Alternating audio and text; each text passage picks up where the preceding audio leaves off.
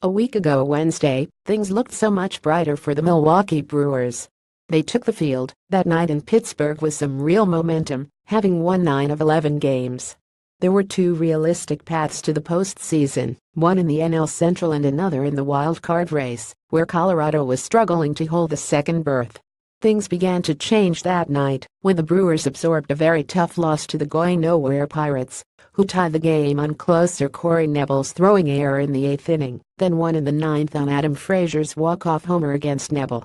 Then came the agonizing Furgum series against the Chicago Cubs, which began with two 10-inning losses, the first of which the Brewers let get away in both halves of the ninth. There was a momentary, joyous reprieve when Travis Shaw walked off the Cubs on a two-run homer to avert a third consecutive 10th-inning defeat. But Cubs lefty Jose Quintana dominated the Brewers in a 50 blanking Sunday, putting the Brewers in must-win mode. The problem was the next opponent was last-place Cincinnati, which for some reason has brought out the worst in the Brewers of late. It took all the Brewers could muster to hold off the Reds, 76, in the series opener, but they were a total nose-how on both sides of the ball Wednesday night, getting whipped, 60, in a completely lackluster performance.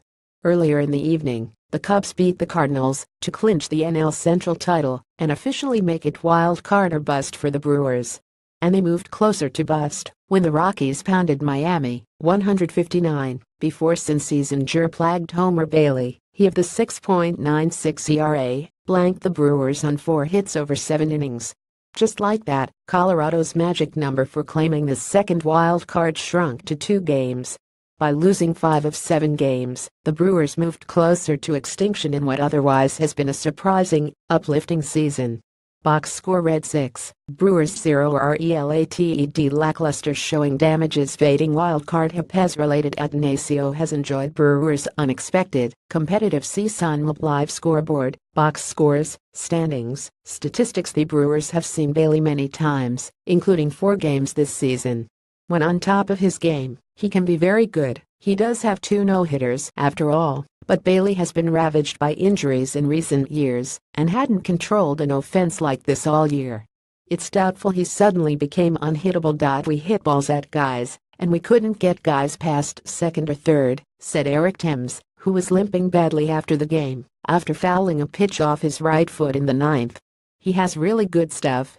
I know he has had injuries over the past few years, but his split is good. He has a good cutter, he was getting in on us pretty well. On the flip side, Brewers rookie Brandon Woodruff couldn't survive a five-run third inning that, as it turned out, but the home team hopelessly behind. It's very disappointing, said Woodruff, who surrendered a damaging double to Bailey in that outburst.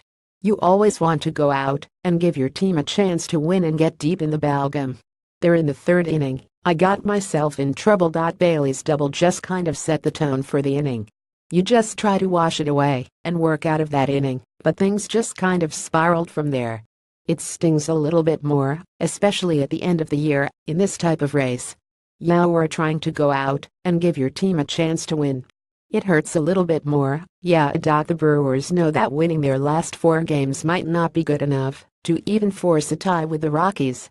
If they go 40 and Colorado wins 2 of 3 in its final series against the Dodgers, it won't be enough. It was like that a week ago, Thames said of the team's must-win status.